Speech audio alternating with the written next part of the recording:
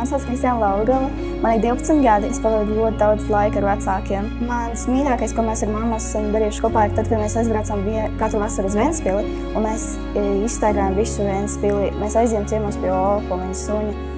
Tas ir viens no manām mīļākajām lietām, ko es daru. Es vienmēr esmu gribējis iemācīties līdz galam jāt ar zirgu un ar tēti doties ar zirgiem iz, iz, izjādēs un darīt kaut ko ekstrēmu.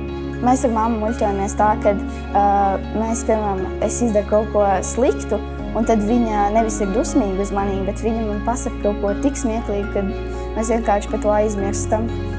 Es novēlu saviem vecākiem, lai viņi tik ļoti daudz nestrādātu un varētu vairāk laika pavadīt ar maniem, mēs varētu izceļot visu Latviju.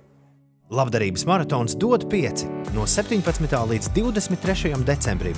Latvijas radio un operators laimīgām ģimenēm Amigo aicina būt kopā But Easter.